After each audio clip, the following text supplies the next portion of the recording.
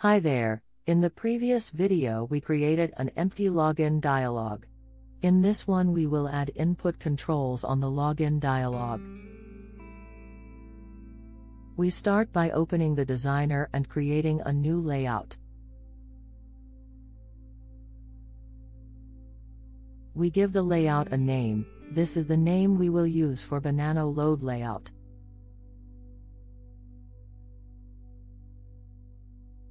The input controls for the login dialog should be validated. We will use a v-form for that as a parent element.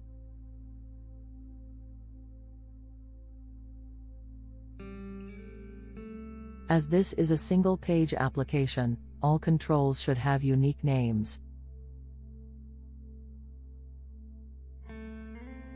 We will add rows and columns inside the form.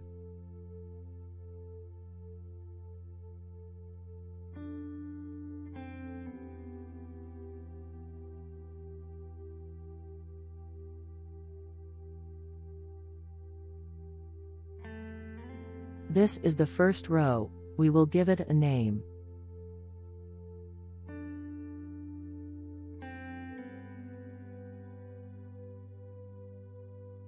We then add a column inside that row. We will make this span 12 spaces across all devices.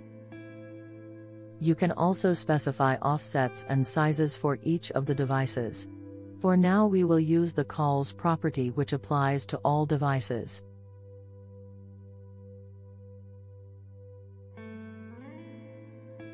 We name the column and then after that we add a text field control inside it.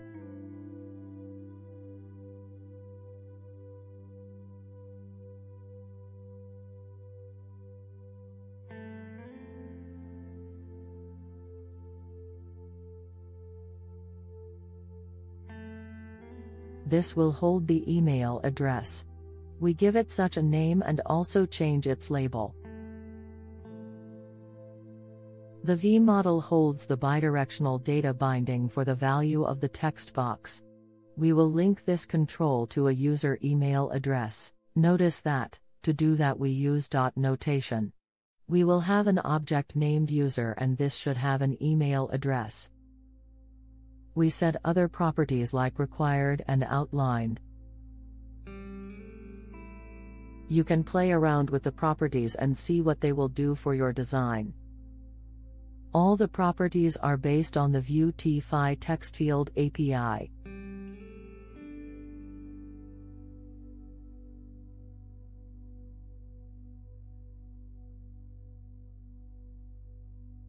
After we finish with the email address, we create the password field.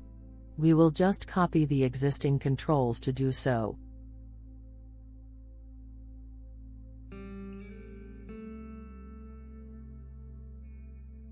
After we duplicate these, we update their names for uniqueness.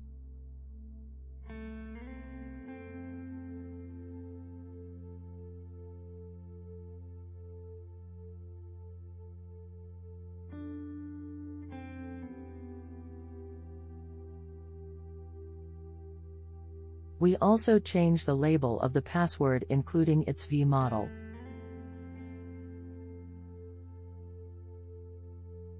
And because we expect a password, we change the input type to be password.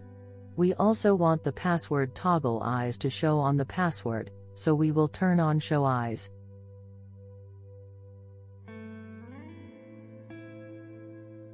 We want our login details to be inside the empty login dialog. Then we will add the content there with BANano load layout.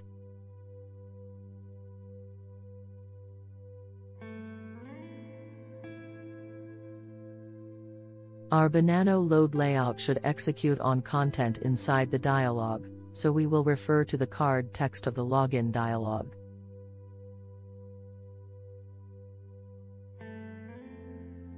After the content is loaded, we will need to establish state bindings for the input controls.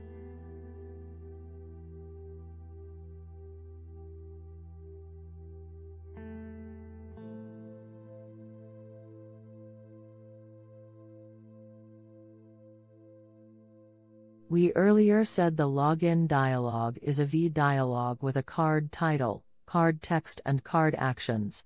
So we will load the login details inside the card text of the dialog. The next step for us is generating the members for the login details, bind them and after that create our rule validation. We open the layout and generate members.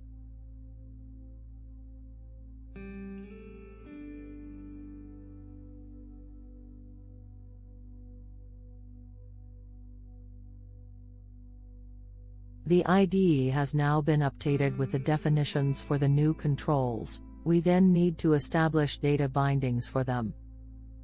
First, select the controls to build code for and copy to the clipboard. Then open the Kitchen Sink web app to access the Bind View Element Builder.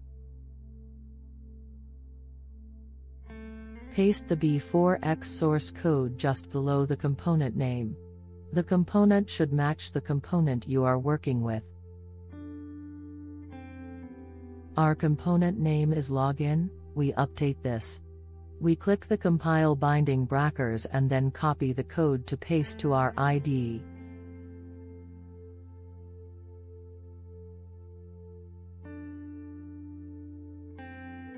We then add code for the password text field, when the eye is clicked, it should toggle and then show and hide the password.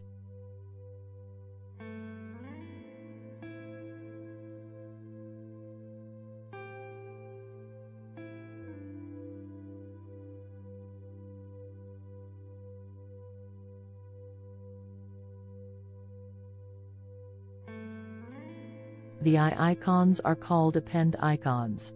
So when click append happens, it toggles the password text box. The final step is adding rules. We want the email address and password not to be blank. So for each control, let's add the rules callbacks. These return the error message or true.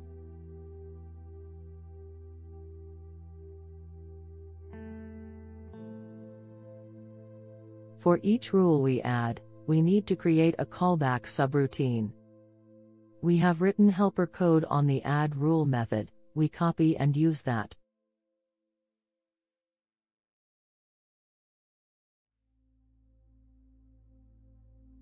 We then update this to suit our needs.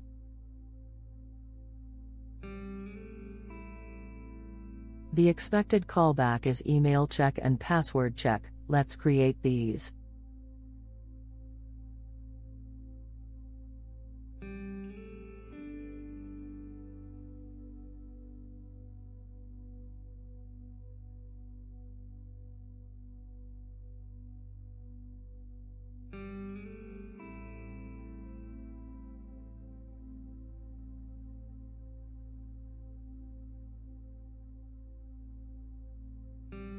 It's time to run our application.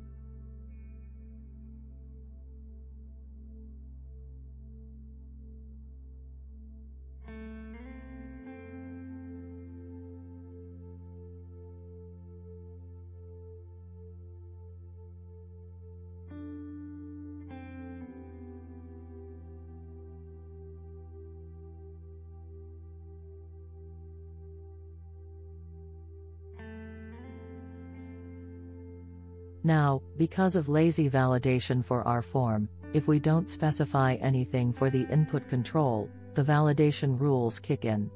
Thank you.